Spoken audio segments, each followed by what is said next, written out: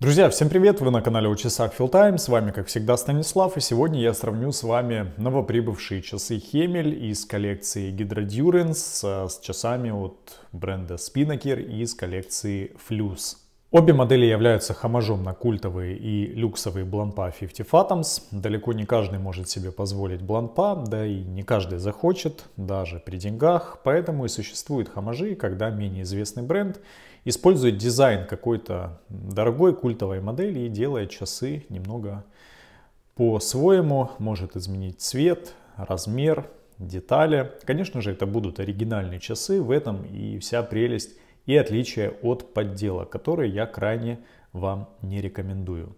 Ну а в обзоре мы посмотрим, что предлагает Спиннакер и Хемель как альтернативы. Думаю, что будет интересно, так как Спиннакер практически в два раза дешевле. Попробуем понять, чем это обусловлено. На обзоре у нас будет одна модель Спиннакер, хотя у меня в магазине было огромное множество вариантов расцветок и несколько есть сейчас.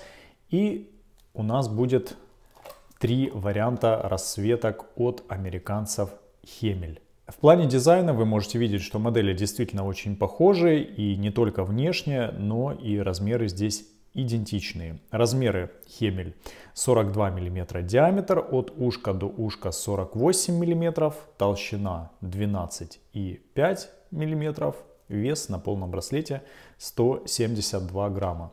Размер спиннакер диаметр 42 мм, от ушка до ушка 51 мм, 13 мм толщина и вес 95 грамм.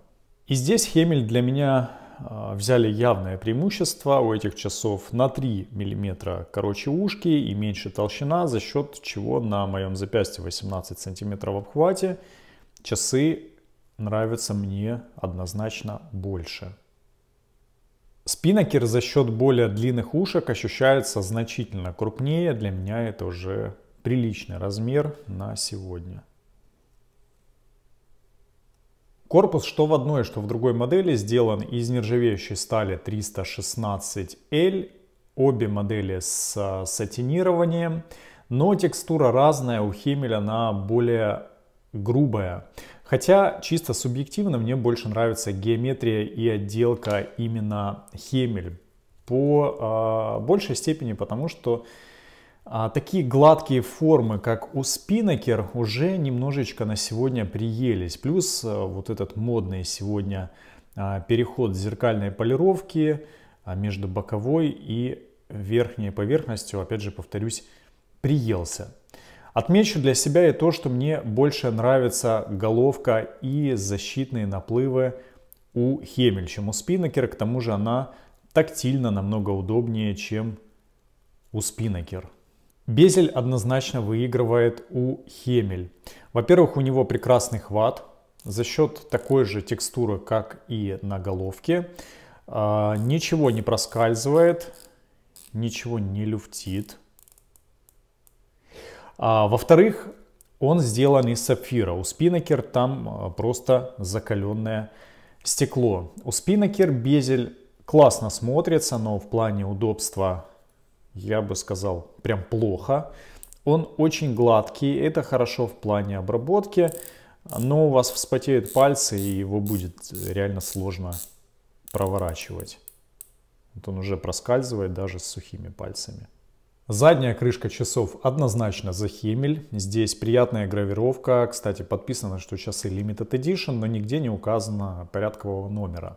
Возможно, были выпущены небольшим тиражом. На официальном сайте все расцветки этой коллекции уже распроданы.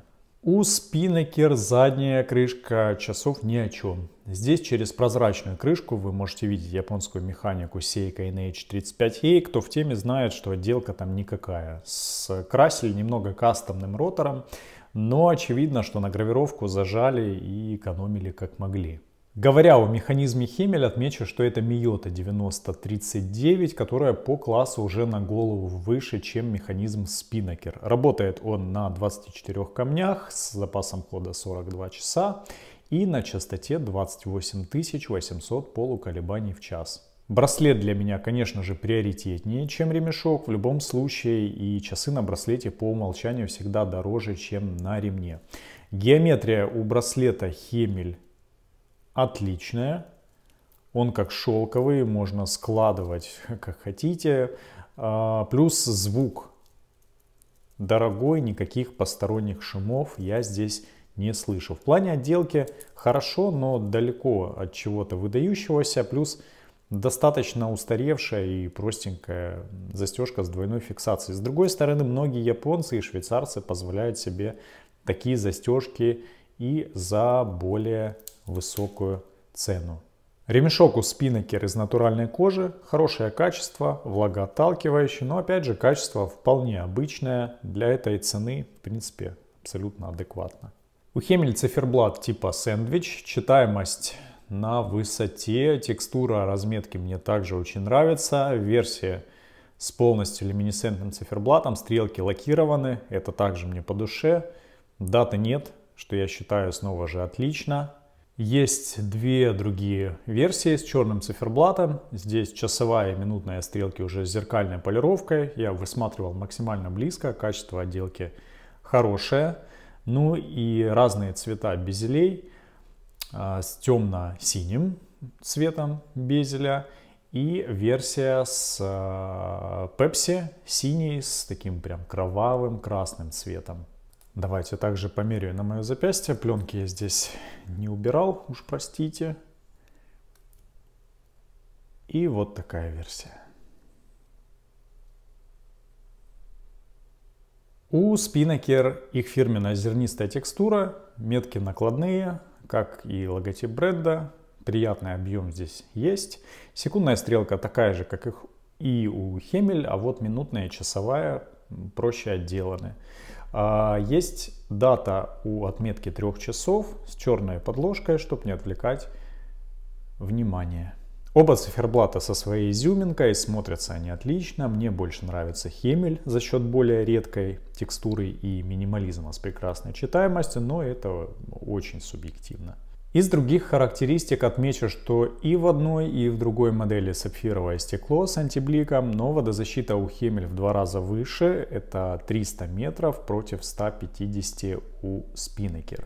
А теперь давайте по итогам. Цена на Spinnaker сегодня в моем интернет-магазине Filltime 13 505 гривен, Хемель 24 056 гривен, то есть условно почти на 80% эти часы дороже. Если взять чисто по характеристикам, то могу это обосновать тем, что дороже механизм, выше в два раза водозащита, при более аккуратных размерах, сапфировый безель, гравировка на задней крышке, браслет однозначно дороже, ремешка. Если взять субъективно, то Хемель мне больше нравится за счет размеров, за счет текстуры циферблата, за счет удобства безеля и головки.